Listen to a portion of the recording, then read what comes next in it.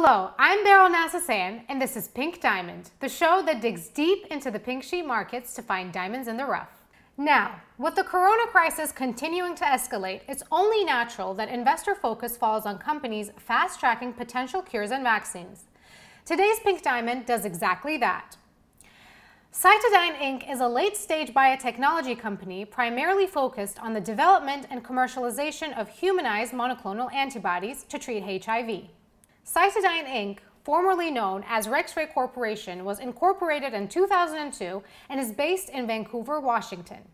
It has a market cap of $1.4 billion and a beta of minus 0.91. While CytoDyn's traditional focus has been on HIV treatment, the sudden spread of COVID-19 means the firm has initiated research into a treatment named leronlimab.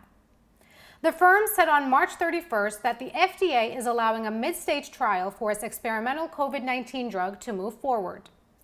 The investigational therapy has not been approved for any indications. For COVID-19, it's being proposed as a treatment for mild to moderate respiratory complications that occur in patients with the disease. The randomized, double-blind, placebo-controlled study will test the efficacy and safety of leronlimab in 75 patients.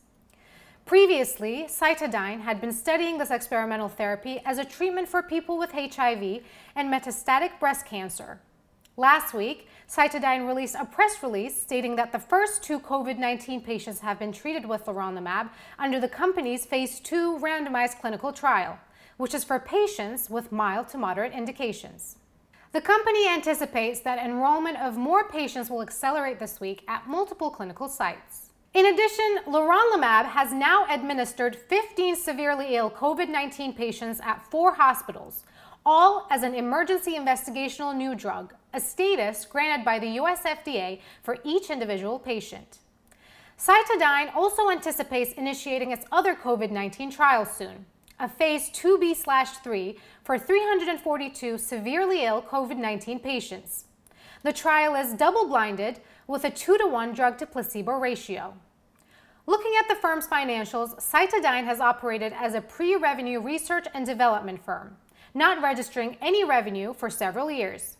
The vast majority of its expenditure is R&D related, totaling $42 million in 2019. The charts show an exciting story with a stock price that has range traded for several years until mid-December 2019 when news about COVID-19 started to spread.